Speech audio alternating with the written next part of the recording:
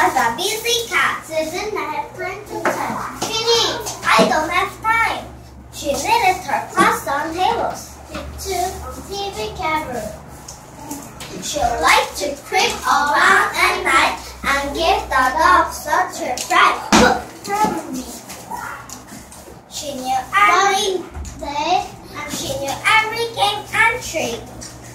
See? How to be asleep. One day,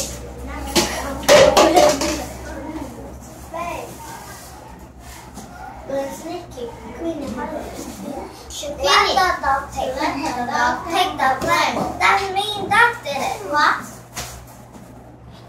Queenie that Queenie knew that this was wrong but did not bother her for long.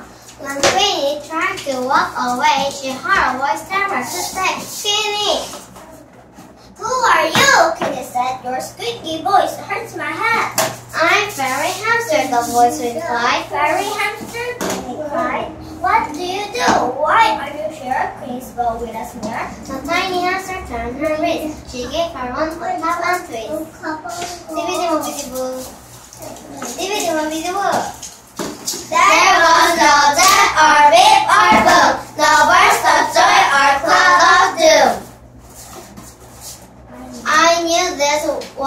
Break one day. I will have to try another way.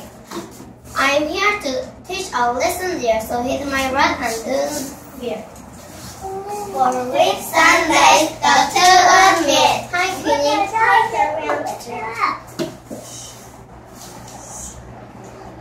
Queenie learned.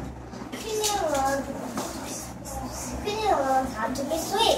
Queenie learned how to ma- how to be nice with Fairy Hamster good advice. She loved and berries too.